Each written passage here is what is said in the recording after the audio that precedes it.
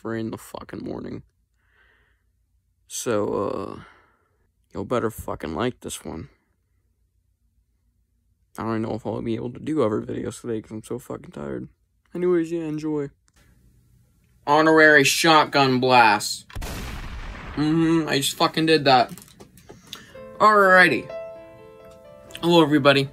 My name is Alexander, but I prefer to go by Goose and Dummies or Alejandro. Please call me fucking Alejandro. I have to say it now, everybody. They just call me Alex or Goosebumps or Dummies. Or Dummies, which I'm, I'm cool with those, but like, ah, Alex! I'm fucking on! Anyways. So I lost my temper a little bit. Today we're reviewing Creature Teacher in honor of fucking, oh, fuck this, back to school. Reviewing another review hopefully soon. I don't know if it's going out the same day as this, and even though I'm recording this the night before, because I'll get to that in a minute. um, yeah. If you know, you know. Back to school, motherfuckers.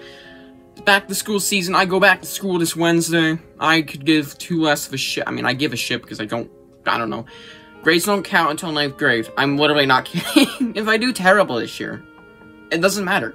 It's hilarious. Anyways, yeah. Unless I, like, do something absolutely horrendous, like I bought someone or something. You know, you know.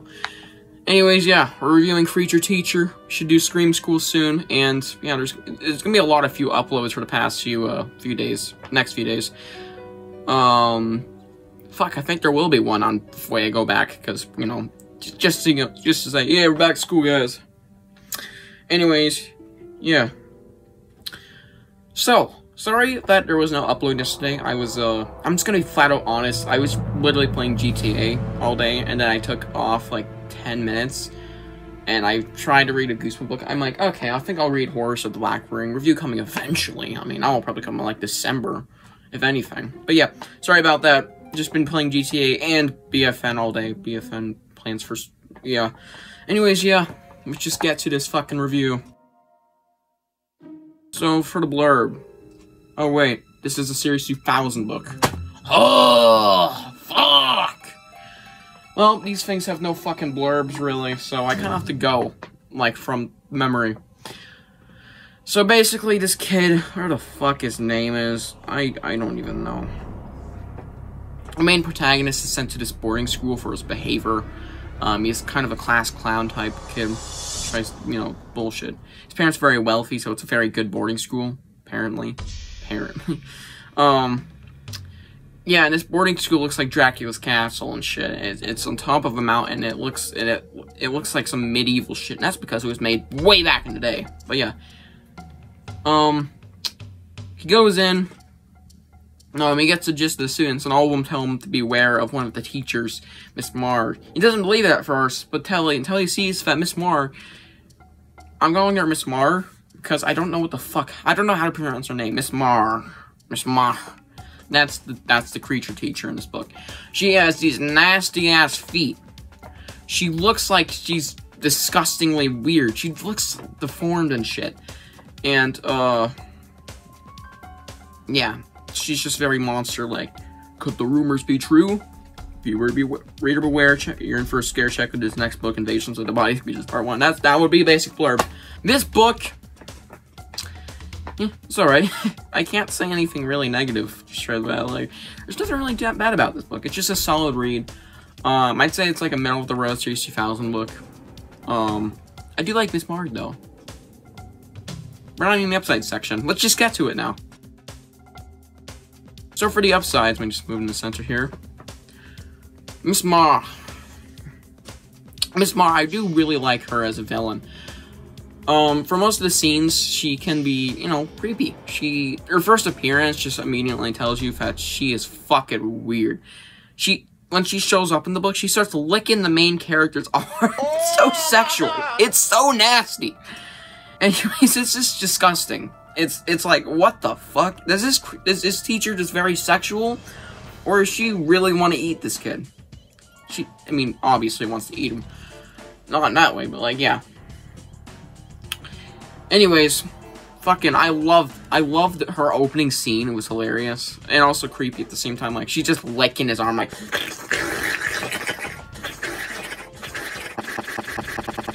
What the fuck? It's disgusting, but it's also creepy because she, you know, she makes some creepy remarks. Anyways, not sexual creepy.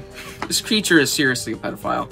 Anyways, uh, besides that, I really like Miss Mars. She's a pretty decent villain. I can see why she appeared in the Horror Town game. I mean, a lot of characters. Even fucking Sparkles the Dragon, which that's the canon name for the dragon from Be Afraid, Be Very Afraid.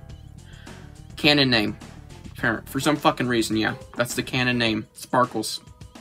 It's fucking black. Anyways. Yeah, I really like Miss Mar. Can't say much more about her. Just really fucking creepy.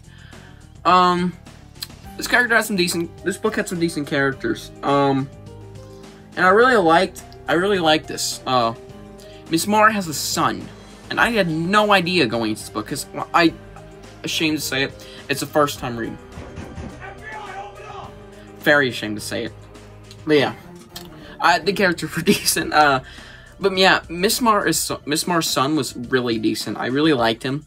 Uh, which will lead me to a later point in this uh, part of review. But yeah, I just really like the characters overall. They're all decent. I like how all of them know are are completely aware of Miss Mar being a fucking monster and actually wanting to eat them. And yeah, another thing I like about this book is the horror. Oh my god. Um. Now this book has very, very, very similar uh, stuff to it as a Fright Night. Not gonna say what exactly, but this book is super similar to Fright, Fright Night in a lot of ways. Um, one of the ways is the kids know they're gonna fucking die. um, um, that's it. I'm so, no spoilers for Fright Night, but yeah, it, I like how the kids all know they're gonna fucking die and they're gonna be eaten by this bitch. I, I just love it. It's so creepy knowing, okay, yeah, we're all gonna fucking die if we don't do this shit, you know? I mean, they're not all gonna die, one of them is, but, like, it's, it's awesome. It's such a creepy, um, idea. Um, I mean, it's nothing crazy, like, oh yeah, the teacher's gonna eat you if you get last place, but like, like that actually happening and her being a fucking monster, not a cannibal, I don't know which would be worse though. It's just really cool, really like that. Yeah, another thing I really liked about this book was the ending stuff. Um, I mean, not the twist, the twist was just, mm, it's alright, nothing crazy. The kid probably died though. Maybe.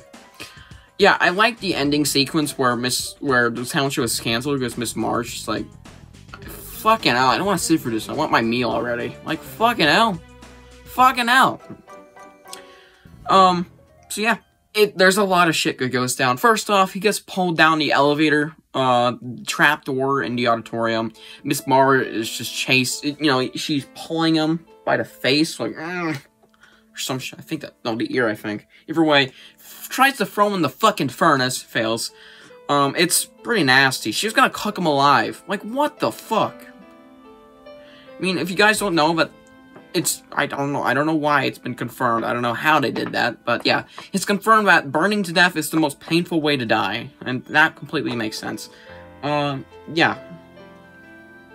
So yeah, he's, he's gonna just get thrown in the fucking furnace, which is really dark, and then, of course, he, he doesn't die, he, he manages to not get thrown in the furnace, like, oh, oh, I hit the side. Okay, I'm out. I'm fine. I'm fine. I didn't get in there in the first place.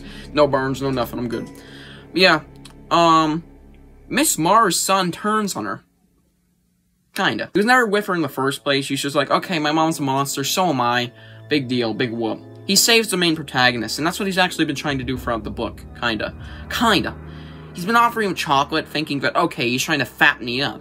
Fatten me up, man. He's trying to fatten me up. The reason is that earlier in the book is uh, he was talking to him, and he actually really liked it, even though he didn't talk much. He's like, "Oh man," he was very happy about it, um, because he doesn't have a friend. I know, what a weird thing, but yeah. He's only doing this because he doesn't have a friend. He's like, oh man, I finally made a fucking friend. Let me just try and give him chocolate to be nice. And yeah, that's he almost got him killed. You know, sorry. He almost made Marg a better meal, his own mom. But either way, yeah.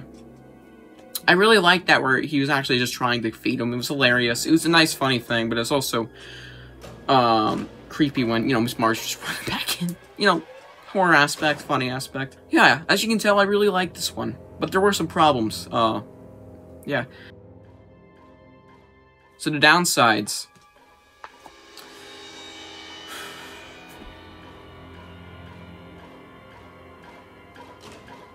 What the fuck? This kid took so long to realize that Miss March's a monster, it doesn't even make sense. Now, I get that you think it was an April Fool's joke or like some bullshit, playing a prank since the, the, uh, the guy you brought him in saying, oh yeah, the kids and staff like play jokes on the little kids. How did he not realize this is a fucking joke until Miss March ate a rat? Why did it take her that? Why, why did it take them that long? Why the fuck did it take him that long? She licked your arm, which is already enough to get you out of that school. Like, okay, the teacher's perverted, so I'm getting the fuck out of here. I don't know why he didn't immediately just run out the room. He's right next to the door. But uh, yeah, it's just, it's just, why? It doesn't make sense how it took him so long to go, yeah, this girl's a monster. He fought, he had doubts, but he fought completely the whole time. Most of overall, he's like, oh yeah, this bitch is just playing a main prank, and all the kids are along with it. Like, what the fuck? It doesn't feel normal to, I mean, what the fuck? It was so obvious that there was something wrong with this bitch. At least it wasn't a joke. Like, he, she's just fucking creepy, at least. Which I would have probably assumed. I, I mean, I don't think I'm gonna have conclusion that she's monster, but like, come on. What the fuck? Why is it so long for you to get there? Anyways, yeah. I really didn't like how that, that, it didn't feel right. Another thing is, this book had a really dumb opening. Now, this isn't like, this is only a nitpick. It had a prologue. And that could have easily just been chapter 1 and made this book like a 35 chapter book. Like, what? The prologue could have easily been the opening chapter. What? I don't get it, but that's just a nitpick. It doesn't really affect the score overall. Something I didn't like about this book was, uh, the payoff.